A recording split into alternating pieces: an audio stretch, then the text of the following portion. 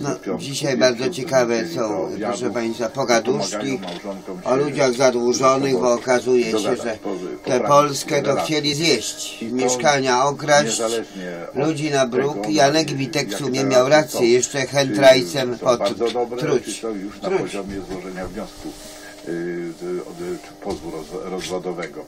Y, jak, jak razem mają taką wolę, że chcą się jakoś dogadać ze sobą, to na pewno te rekolekcje im w tym y, y, dopomogą. Zapraszamy na, y, a jeszcze tutaj, y, jeżeli chodzi o dzisiejszy temat, upadłość konsumencka, proszę więcej danych kontaktowych zobaczyć na stronie www.fundacjadobra.pl Fundacja Dobra pisane razem. Zapraszamy na kolejne audycje dla małżonków i rodziców. 13 lutego. Jak zadbać o swoje małżeństwo? Doktor habilitowany Mieczysław Guzewicz, teolog biblijny i pastoralny, świecki konsultor Rady Episkopatu Polski do spraw rodziny. 20 lutego e, będzie też o finansach, ale od strony bardziej, że tak powiem, duchowej. Pułapki na drodze do wolności finansowej.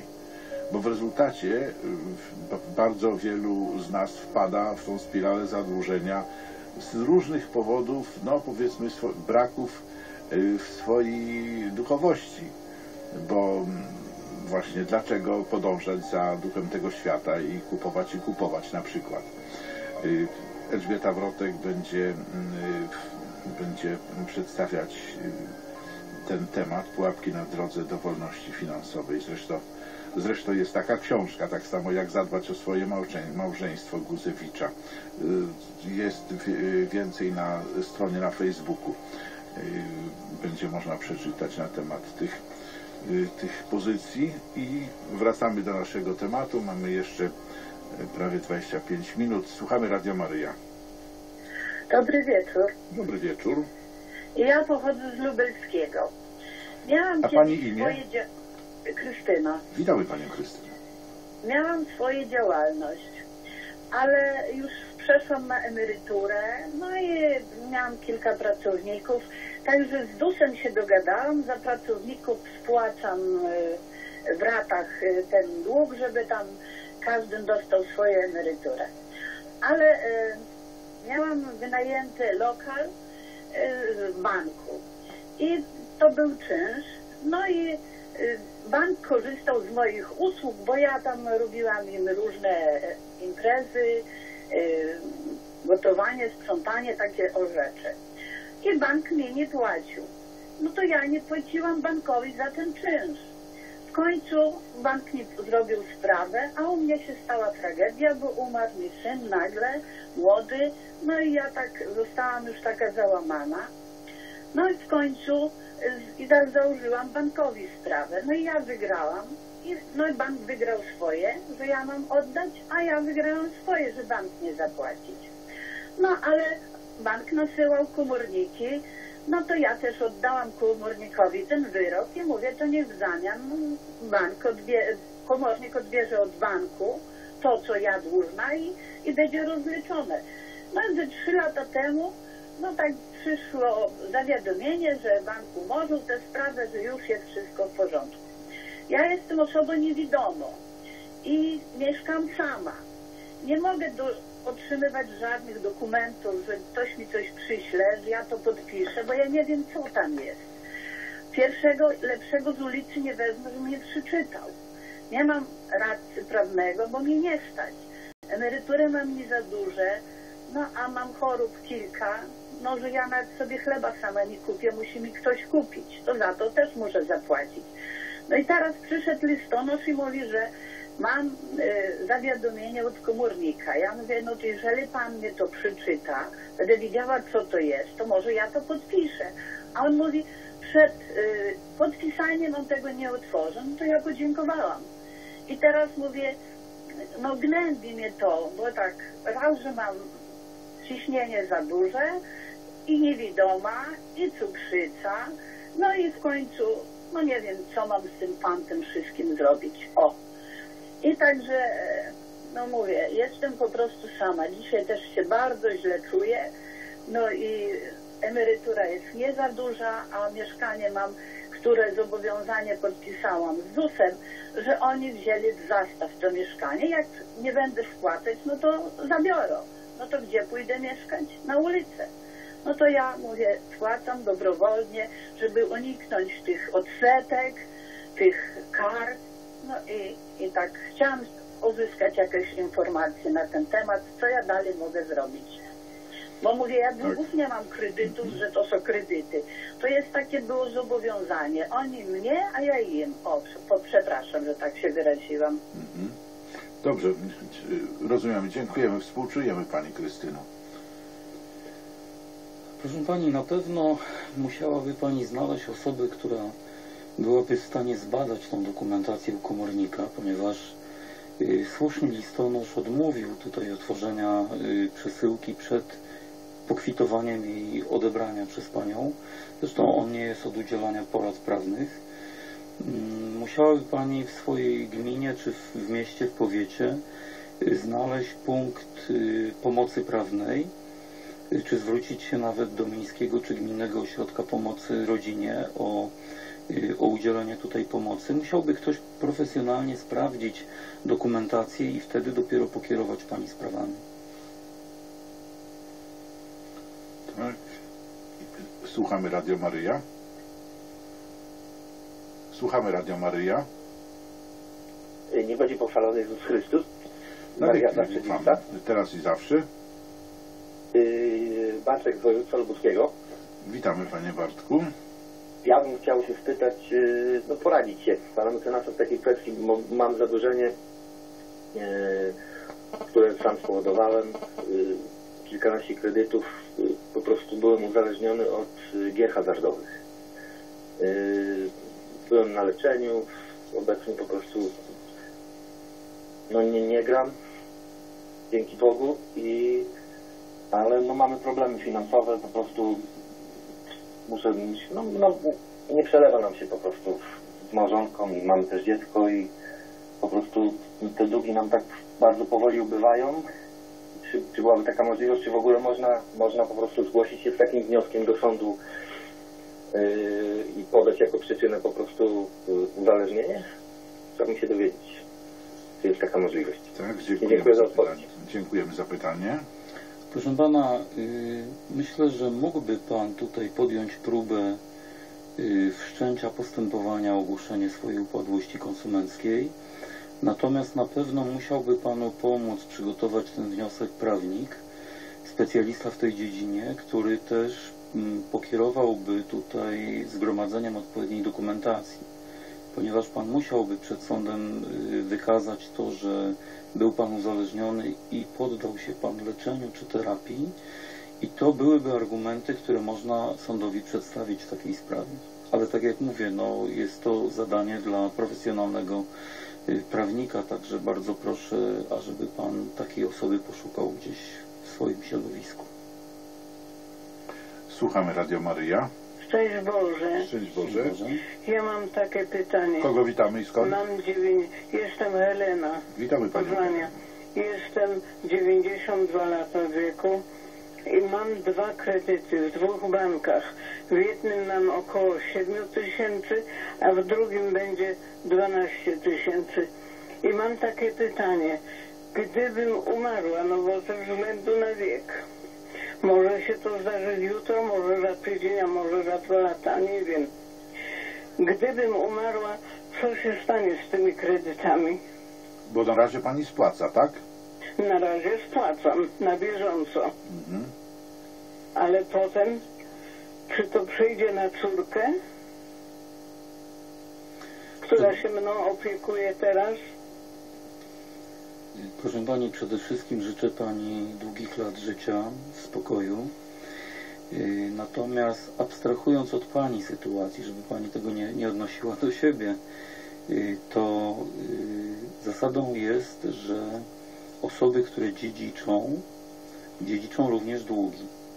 Z tym, że w tej chwili prawo spadkowe mm, przyjęło takie regulacje, że nabywa się spadek z dobrodziejstwem inwentarza, to, to znaczy tylko do Y, Czyli nie ponosi się z mocy ustawy od razu automatycznie odpowiedzialności za długi. Gdyby długi spadkowe były bardzo wysokie, to spadkobierca ma też taką, y, taką furtkę, takie wyjście awaryjne, może spadek odrzucić w ogóle. Także tutaj, y, tutaj raczej no nie, myślę, że nie ma powodów do niepokoju o to, że córka byłaby automatycznie już uwikłana w jakieś zadłużenie, y, gdyby miała dziedziczyć po pani. Ale by musiała nawet jakiś wniosek złożyć, tak? No to wtedy, wtedy, y, wtedy to już jest, ale mówię, no, Gdzie to, gdzie to musiałaby dokonać tego, złożyć ten wniosek? y, proszę pani, a proszę powiedzieć, czy pani jest w stanie w ogóle spłacać takie zobowiązania?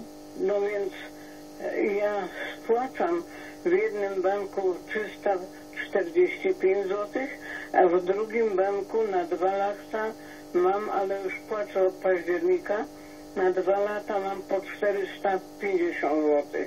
I daje pani I radę spłacać te długi? Staram się to spłacać. No ale jak długo mi jeszcze życia zostaje, to nie wiem. A wzięłam to na, po prostu na to, żeby mojej sytuacji, gdzie ja jestem i chora i niesprawna, zrobić sobie łazienkę przystosowaną do mojej niesprawności. Proszę pani, I więc dlatego- ja bym zachęcał do dlatego tego, Mhm. ja bym zachęcał do tego, żeby pani y, bardziej zatroszczyła się o swoją sytuację, niż myślała o tym, co się może stać pani córce. I ja zachęcałbym do tego, żeby pani y, rozważyła możliwość złożenia wniosku o ogłoszenie pani upadłości. Aha, i to teraz już można jeszcze za życia zrobić. Oczywiście i wtedy, proszę Pani, mogłaby Pani, no bo z tego, co Pani mówi, no to te pożyczki miały, miały uzasadnienie, tak? Miały usprawnić, y, ułatwić Pani życie, funkcjonowanie y, w Pani mieszkaniu Tak. i tutaj, no myślę, że, że uzyskałaby Pani usprawiedliwienie zaciągnięcia tych zobowiązań. A Pro- gdybym tego wniosku nie złożyła, to to przejdzie na córkę. No to w części niespłaconej, proszę Pani, mogłoby przechodzić na córkę, ale tak jak mówię, spadkobiercy mają prawo, jeżeli długi są, y, są zbyt y, obciążające, mają prawo odrzucić spadek nawet. Aha, Także tutaj nie ma takiego automatycznego zagrożenia dla, dla, dla córki. no więc Ale tu mówię, tutaj warto byłoby, wie Pani, porozmawiać z prawnikiem na Pani terenie, który się zna na prawie upadłościowym, żeby Pani doradził, czy taka upadłość konsumencka będzie dla Pani korzystna, bo tutaj trzeba byłoby też mm, poddać analizie to, jaki ma Pani majątek i, i, i, i czy wartość tych kredytów to ja mam mieszkanie no własnościowe. właśnie. No właśnie, więc tutaj sąd pewnie mógłby rozważać, gdyby ogłosił upadłość, że sprzedałby to mieszkanie. Także tutaj trzeba działać roztropnie i na pewno nie samemu, tylko, tylko właśnie po konsultacji z prawnikiem wyspecjalizowanym w tej A dziedzinie tak. prawa. Ja trochę ubolewam, że te, że te długi są jeszcze, że mnie obciążają i martwię się o to. No ale jeżeli Pan mi radzi w ten sposób, no to spróbuję jakoś do tego podejść. Ale mówię, proszę, proszę znaleźć osobę kompetentną, z którą będzie Pani mogła to przedyskutować. Dobrze, uprzejmie dziękuję i Pozdrawiam serdecznie. Bogiem. Bogiem. I odbieramy kolejny telefon. Słuchamy Radio Maryja. Szczęść Boże, Barbara z tej strony. Ja mam taką prośbę, sprawę.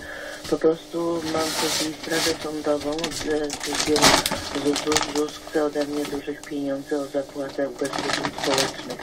To znaczy tak, ja jestem rolnikiem i po prostu płaciłam składki KRUS-u, ubezpieczenia.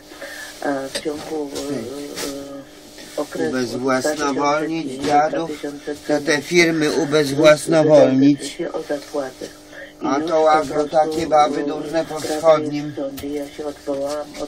Ewka mówi, napierdala taka okropne, stołówce dla bezdomnych.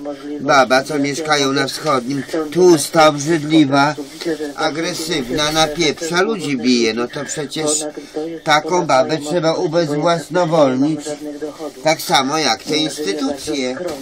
Żydowskie, ubezwłasnowolnić, wygonić, przepędzić z Polski. Będzie spokój, nie będą żebrać, nie będą nabierać, nie będą wiesz. ludzi To tu było męczyć. tylko takie fikcyjne No zarejestrowanie tego, tej działalności, a faktycznie miałam trochę gruntu i sprzedawałam tych warzyw na targu. Nie będą nawierać Ale to ludzi. była nieistniejąca taka Żebrać sytuacja, nie która, będą. e, która nie była prowadzona. Ale KRUS wyrzucił mnie z ubezpieczenia i na chwilę obecną O, też jestem uwikłana i dręczę się już od ponad pięciu lat z tą sytuacją. Po prostu nie mogę sobie dać radę, czy ZUS będzie ściągał ze mnie te pieniądze, czy to po prostu coś z tym można zrobić, bo to też przerasta moje możliwości. Y, Okres rozliczenia ubezpieczenia od roku 2005 do 2012. co z tą sprawą można będzie i czego ja będę się mogła właśnie w sądzie spodziewać, bo to jest, y, prowadzi Sąd Pracy Ubezpieczeń Społecznych. Y, Po prostu ZUS mi wydał decyzję i ja się odwołuję od tej decyzji o zapłatę y, już należności za, za lata składkowe, za ten okres. Nie. Dziękuję Pani Barbaro. Tak. Proszę powiedzieć, czy Pani występuje w tym procesie sądowym sama, czy ma Pani pełnomocnika? Mam pełnomocnika z urzędu. Rozumiem. Czyli pełnomocnik powinien zadbać tutaj o Pani sytuację procesową. Natomiast y, myślę, że warto byłoby na wypadek... nie mogą sąd baby tutaj ubezwłasnowolnić, napierdala na wschodnim będzie bije. egzekucji mm. Nie mogą ubezwłasnowolnić.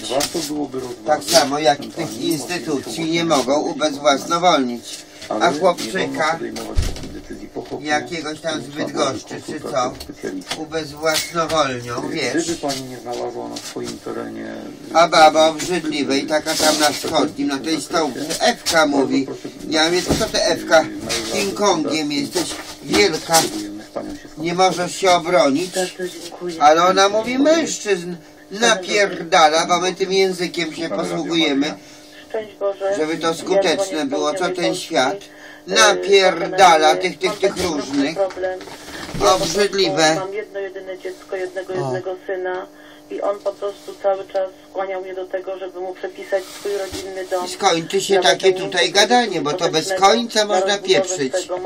Bez końca. Na 12 metrów, na 9 duży.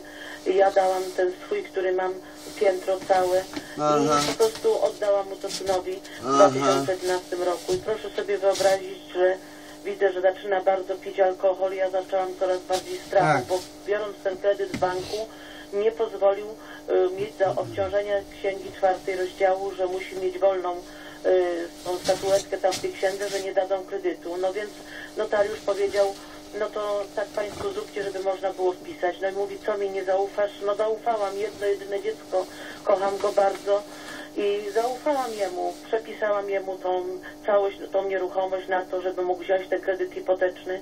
Wziął ten kredyt hipoteczny, teraz okazuje się, że wziął tych kredytów więcej. Żona była 12 lat za granicą, wróciła z tej zagranicy, spłaciła te kredyty, wziął z nią rozwód. Żona wzięła dziecko, wyjechała za granicę. Ja oddałam syna do poradni alkoholowej, żeby go leczyć, żeby go ratować, bo jedno jedyne dziecko mam, a dałam cały dorobek do życia, przeszło 40 lat i to jeszcze własną ojcowiznę. Na dzień dzisiejszy przegrałam sprawę w sądzie, że mała rażąca niewdzięczność, syn pluł mi w twarz, ze schodów chciał mnie zepnąć, y, bił mnie, szturchał, wulgarnie się odnosił, do prezydenta miasta pisał, żeby mi zabrał prawo jazdy. Ja jestem inwalidą, kaleką, o chodzę, samochód jest jednym moim środkiem, ale ma wtyczki, bo pił z adwokatami, z mecenasami różnymi, z prokuratorami, z policjantami, ma wtyczki i wyglądało na to, że w rozprawie wszystko wyjdzie na dobrą stronę. Okazało się, że nagle syn wygrał sprawę. I ja jeszcze w ostateczności złożyłam do apelacji. Teraz tej apelacji mam i przychodzą komornicy. Złożył upadłość, bo on był prywatnym ubezpieczycielem. Złożył upadłość konsumencką. Y, Samochodem jeździ, za granicę jeździ, wszystko z domu sprzedał. Nie interesuje się mną, wyprowadził się. Y, Ja potrzebuję pomocy, mąż pomocy, dach nam zerwał, teraz wichury zerwały nam dachówki. Nic z tym nie robi, wszystko jest za niego zapisane. Ja nic nie mogę zrobić ani cofnąć, bo sąd powiedziała mi pani sędzina na rozprawie, że Wysoki Sąd uważa, że syn panią z domu nie wyrzuci, a ja proszę księdza, no normalnie, y, no po prostu, no nie mogę spać, guzy w głowie mam, taka chora jestem i po prostu słucham tego Radia Maryja codziennie, modlę się i Boga proszę, żeby ten sąd się ma teraz odbyć w marcu, a ja tu po prostu oddał, już przyszli komornicy, y, pani syndyk przyszła, takimi słowami do mnie agresji, żeby mąż po prostu nie, nie stoczył to, to byliby już wymierzyli wszystko, ale mąż jakoś tak, że wygonił ich. Y, Po prostu mierzą całą dom, dom chcieli pomierzyć wszystko, bo powiedzieć, pani przegrała sprawę, pani tu nic nie ma do powiedzenia, pani... Dziadostwo nie zna granic, a tak syna, ubezwłasnowolnić, wszystkie żydowskie pożyczki wypieprzyć. Tych syndyków wszystkich, bo to wszystko a wie, hipoteka żydostwo jest, wypieprzyć i będzie spokój. Coś ty. tylko do żywocia. Nie wpisze mi, nie ma takiej możliwości, bo powiedział, że mu zablokuje konto, nie będzie mógł brać kredytu. I tak zadłużył, że ja na dzień dzisiejszy wygląda na to, że będę musiała iść na bruk. Proszę mi pomóż w jakiś sposób. Współczujemy pani Zofio. Nie wiem, co mam robić, nie wiem, gdzie się udać. Mam adwokatkę, mam sprawę w sądzie apelacyjnym w Katowicach. Ma być w marcu, ja nie wiem, co mam zrobić. Po prostu e, e, o rozwód podał, żonę wyprawił. Ta żona spłaciła ponad 660 tysięcy, a w dzień przed odebraniem jego pisma, co miał odebrać ode mnie od adwokata, że jeżeli się nie zgodzi na wpis do hipoteki, to ja sprawę oddaję dalej. No to proszę sobie wyobrazić, że nie odbierał co tego takie listu instytucje w ogóle? kiedy miał wrócić do sądu. Ubezwłasnowolnić. Od Oni za mogą tej 80 krowy, tysięcy. co na wschodnim mieszka, przychodzi do stołówki dla ludzi ubogich i napierdala po mordzie facetów. To nie mogą baby wstrętnej no, mówi, pijaczki ubezwłasnowolnić tak samo jak i, i tych instytucji. To trzeba się zastanowić, jaki koń trojański tutaj w Polsce jest. pracy inwalidą drugiej grupy.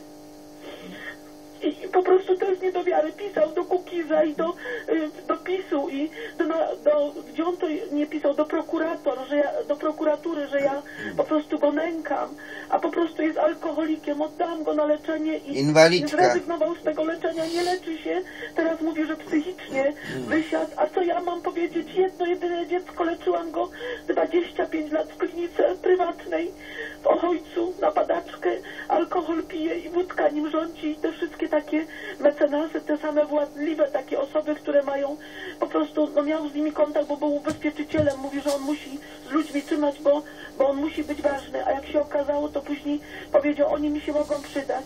I poczekał od 2011 roku, jak mu to zapisałam, 3 lata.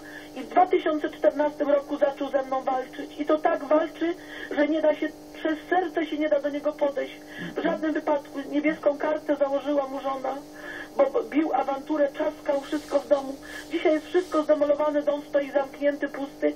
To są dwa domy.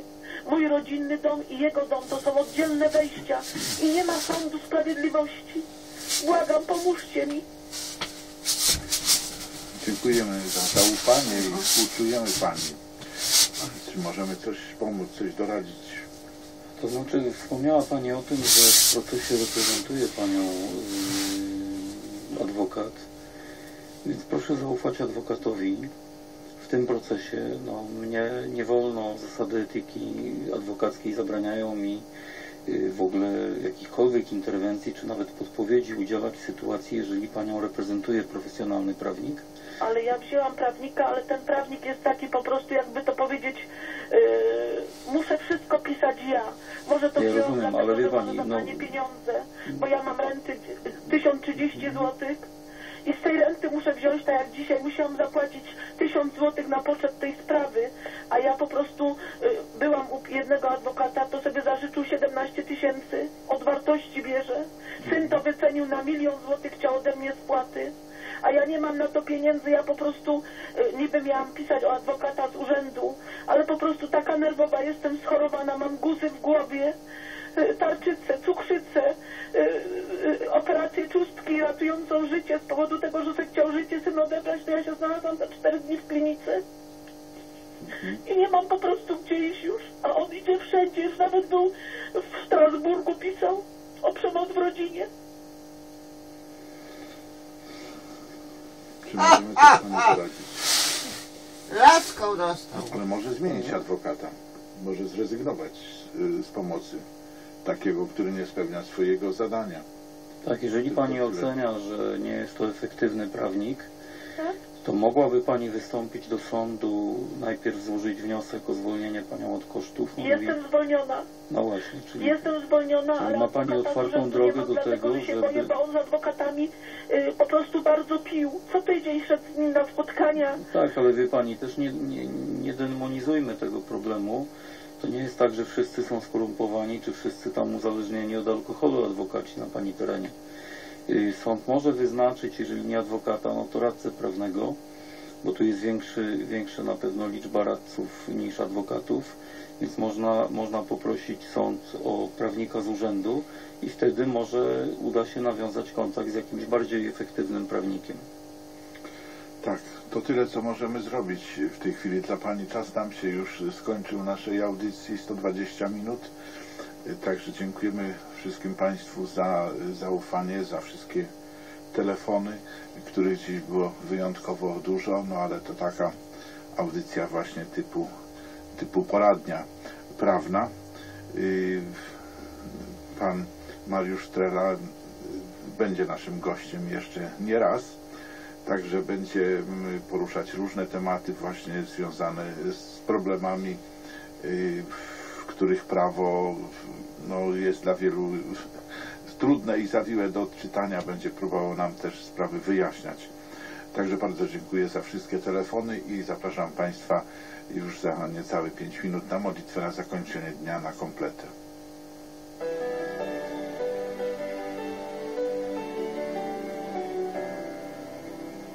Są dni,